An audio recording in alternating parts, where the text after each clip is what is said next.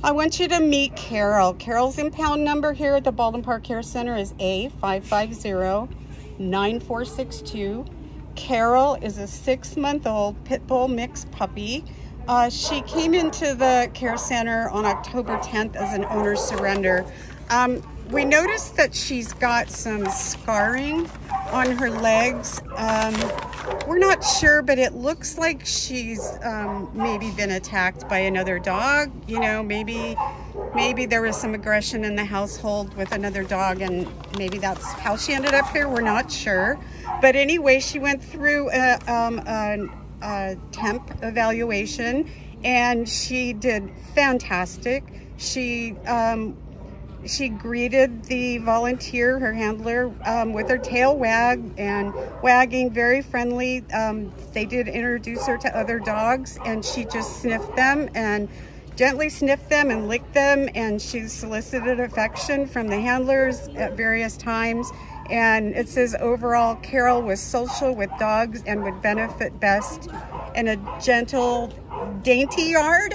I don't know what that means. Maybe she hurt herself in the air. Who knows? I don't know, but you can kind of see the scars on her. Anyway, she's so cute and sweet. And um, Mike has been uh, getting to know her, so I'm going to let him uh, tell you about her. Yeah, Carol's a very uh, sweet, affectionate little girl. She just wants to hang out and show some uh, you know, some attention and get some attention back and, uh, you know, very easy to leash. She doesn't uh, pull on her leash, so uh, with some basic uh, training, I think she could become a really, really good dog. I think uh, group training would probably benefit her so that she can have a further socialization with other dogs. I think that would greatly benefit her. She will make a great pet with some, with some training and some patience. So come on down and check Carol out and take her home. Yeah, she's young. She needs to be with probably an active family.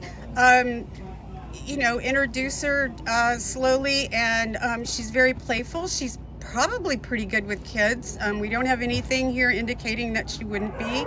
Um, but yeah, someone that, that's willing to play with her, uh, throw the ball, um, take her for walks, hikes. I mean, she just needs an active family um, someone that can get her through her puppy life and her young adult life and just give her a good home. So we love her and we, we really want to see her get into a permanent home. So please come down and meet her if you're looking for a, a nice family dog.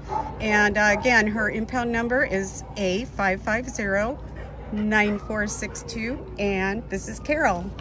Bye, Carol. All right, pretty